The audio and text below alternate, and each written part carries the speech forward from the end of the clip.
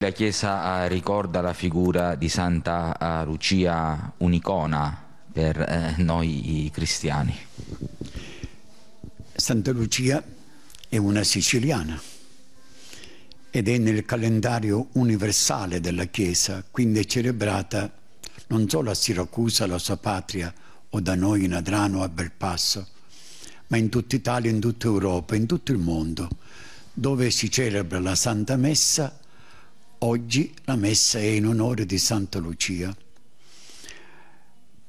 Credo che il nome che lei porta indica la sua realtà. Lucia fa pensare a luce. Qual è la caratteristica di questa donna? È stata battezzata, era cristiana ed è rimasta fedele al cristianesimo senza nessuna contraddizione.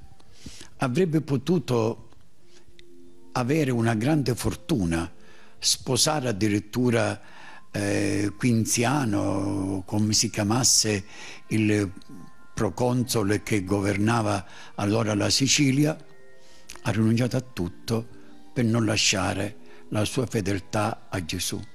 Ecco allora che noi, come cristiani, abbiamo in lei un modello che esprimerei in due, in, con due semplici parole.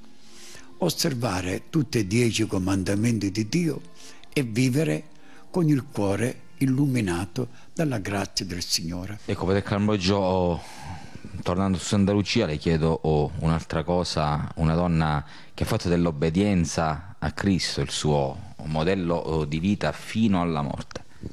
Proprio così. Infatti la parola obbedienza deriva dalla lingua latina, ob audire, e significa ascoltare in maniera motivata. Allora, diciamo così, quello che è la luce per gli occhi, queste sono le parole, i suoni per le nostre orecchie. Noi quale luce dobbiamo avere? Quella di Dio. Quale parola dobbiamo avere dentro di noi? La parola di Dio.